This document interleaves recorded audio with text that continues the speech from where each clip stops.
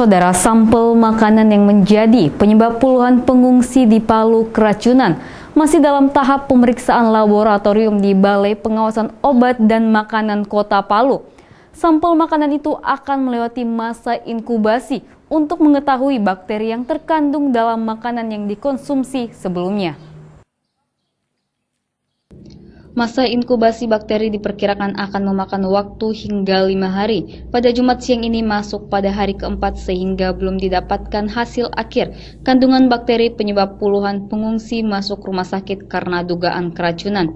Pelaksana tugas Kepala Balai POM Palu Leonard Duma mengatakan, dugaan awal terjadinya keracunan massal di tenda pengungsian karena adanya bakteri pada makanan yang dikonsumsi.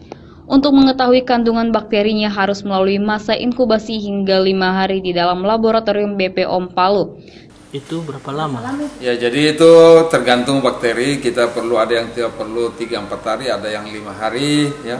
Karena masing-masing bakteri memiliki masa inkubasi atau uh, kalau bahasa sederhananya ditumbuhkan dalam beberapa lama untuk bisa diketahui hasilnya. Karena tidak seperti Eh, bahan-bahan uh, kimia cukup direaksikan kimia satu hari selesai atau dua hari paling lama. Kalau bakteri, identifikasi bakteri, prosedur kita itu harus ditumbuhkan atau diinkubasi dulu sebelum kita mengeluarkan hasilnya. Dan ini memang perlu waktu, tidak bisa kita percepat pertumbuhannya.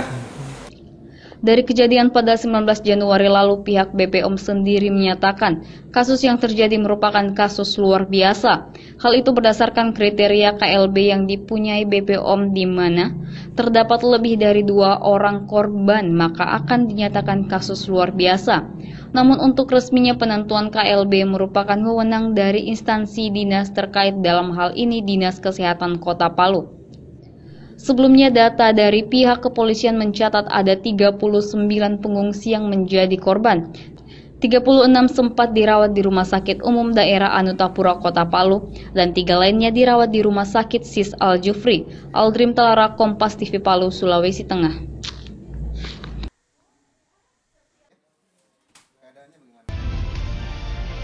Kompas TV, independen, terpercaya.